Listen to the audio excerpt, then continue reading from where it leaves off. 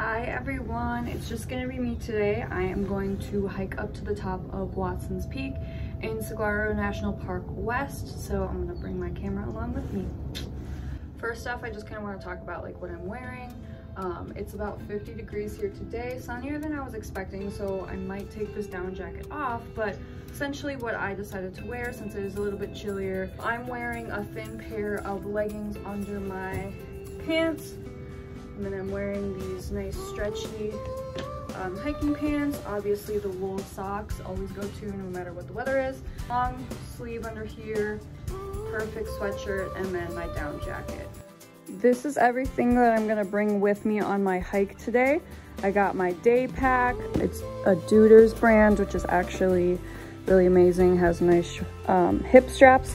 But then I'm also gonna bring some rain gear just in case it rains. There was uh, rain on the forecast, so this is just in case. Um, I'm hoping that I won't have to pull it out, but um, I do have my down jacket on right now, but this has a hood and it's a little bit more water resistant, so I will pull this out if I need to. Wallet, obviously, a headlamp if it gets dark. I don't think I'll be out there that late. It is about like a four hour hike. It's about 11 a.m. right now. Chapstick, um, gloves if I get cold. I am going to bring my hat. Have baby wipes and um, baby powder in case any chafing happens or any kind of, you know, blistering or anything like that. And then I have my water reservoir. So I am going to bring three liters today. You are supposed to bring about half a liter for every mile you're about to hike. Um, so that would be about two liters for me today since it's about a four hour hike. So I have more than enough. My trail map and my lunch. I just um, made a veggie sandwich with some hummus, got some protein balls, fruit, and then some like mixed nuts and dried bananas and stuff like that.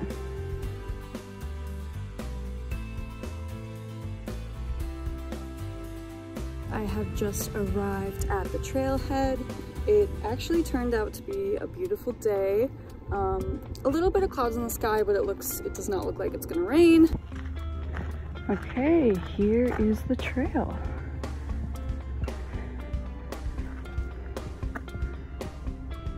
So this is the trail that I'm gonna take. I'll go all the way up to Wasson's Peak. I'll kind of decide if I wanna do the Hugh Norris route. It'll add like another two miles onto my route, but um, if I want, I can always do this. I might do the full loop, so we will see how it goes.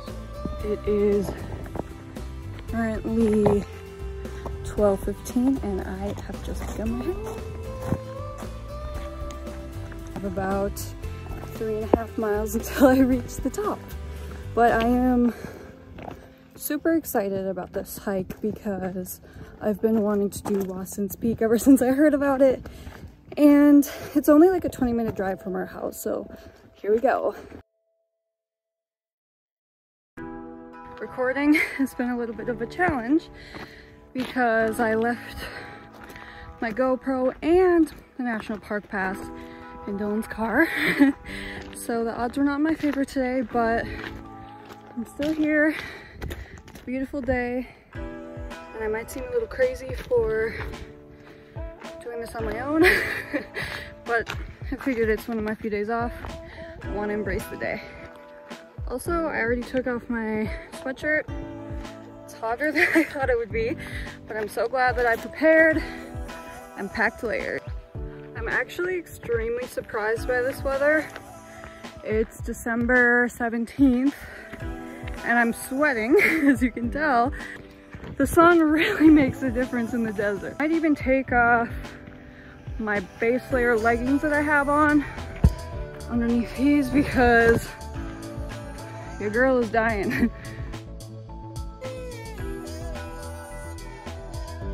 I just went up there and took off my base layer leggings and I am feeling so much better. There are picnic tables to um, eat up at probably around halfway at the top, so that's cool.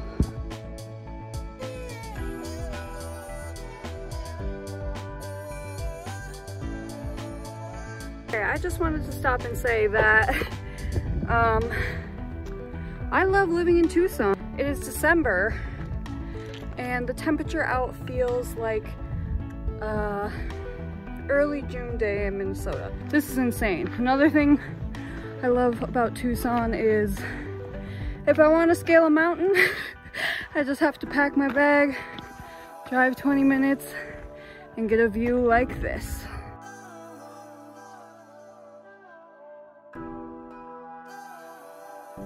This is really exciting to me because I haven't seen these sides of the mountains before.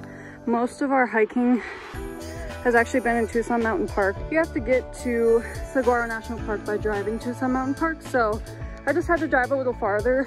I'm super bummed that I don't have my GoPro because the scope of the mountains behind me is just unbelievable.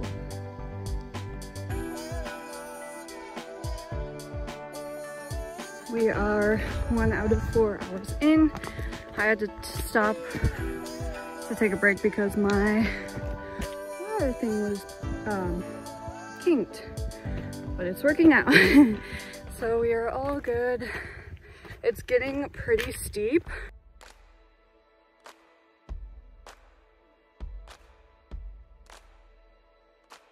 This trail has about a 1900 elevation gain.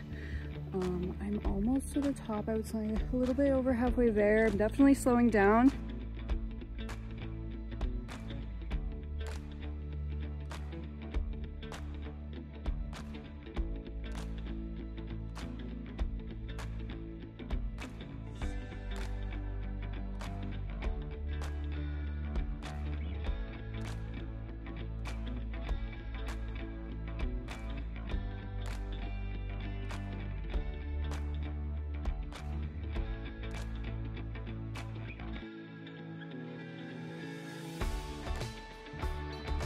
All right, I have about a mile and a half to go and I'm dying. The only way that I can truly keep going, oh I'm constantly using this. I can't believe this is in my backyard and ow, I just got poked by a cactus.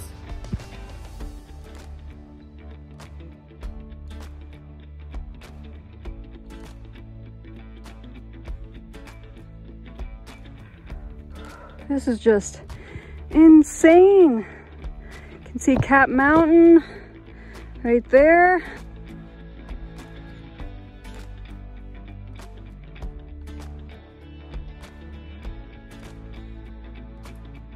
That right there, my friends, is Wasson's Peak. and I am heading there now. So I'm excited I can see it. All right, this is where it starts to get a little scary.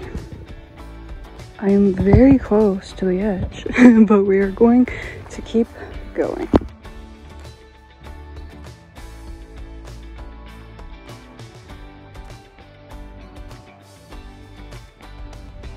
I can see that Mount Lemmon has snow.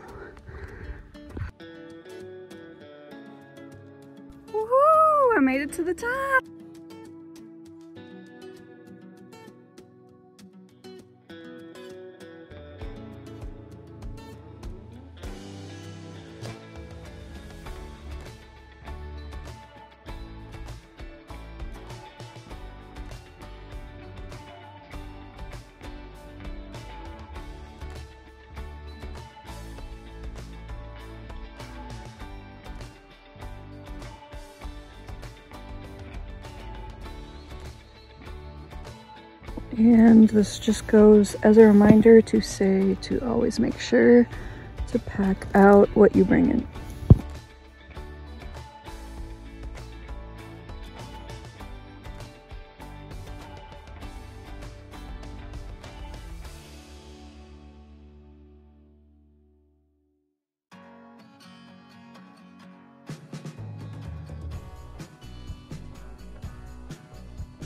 So I made it to the top at 2.07, so little under two hours. I decided that I am gonna take the longer way back. Um, I'm feeling rejuvenated, meditated up here, ate some lunch, and I'm ready to keep going. This is the trail that I just took.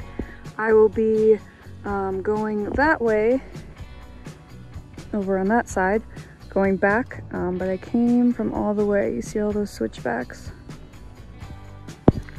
now that I'm not sweating, I actually kind of like um, warmed up a bit and I might put my sweatshirt back on.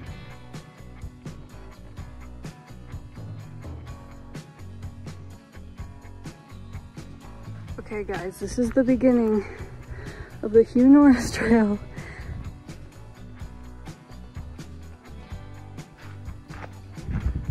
You know, you think that it can't get any prettier and it just does. Downhill always goes so much easier and faster for me. And this is a lot sandier of a path. Um, so we're cruising now. It is colder though.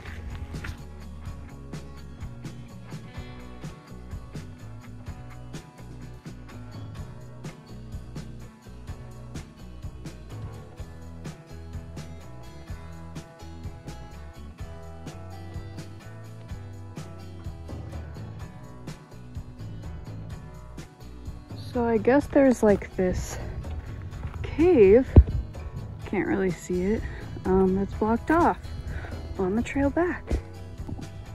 Okay, so I'm on my last little stretch here.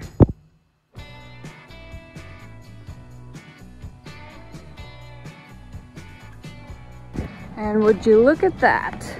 I am back at the parking lot. Almost. There's the car. I didn't get a lot of footage coming down because I just wanted to use it as time to reflect. Being outside is kind of like my therapy, so I just wanted to make sure that I was still prioritizing that. I ended the trail wearing just this long sleeve and my um, down jacket and yeah, it was perfect. I feel like a completely different person since I started the trail. It feels like so long ago. It's also currently 4.30, so I pretty much made the 4 hour and 15 mark on the dot, which is actually kind of crazy with all the stops and everything included. It's officially time for me to go home and shower and eat dinner, so I'm gonna go do that. It's starting to sprinkle, can you see that? Okay, I am back at my apartment now. Sorry, there's laundry going in the back. But um, I just kind of wanted to go over what I used, what I didn't use, whatever. So I didn't end up eating these things, but that's okay. It's always better to have more. I didn't use my hat, thankfully, but I'm glad that I brought it just in case it did get chilly. Thank God I didn't have to use my rain stuff, but it did start to sprinkle a few times. Not enough for me to have to change out of the down jacket. I have about 1.5 liters left of this, but I also drink um, Uptime. I decided that I'm probably gonna put on a stretching video because otherwise I'm gonna be dying tomorrow. And I don't know about you, but eight miles is a lot for me personally. So yeah, I'm gonna stretch.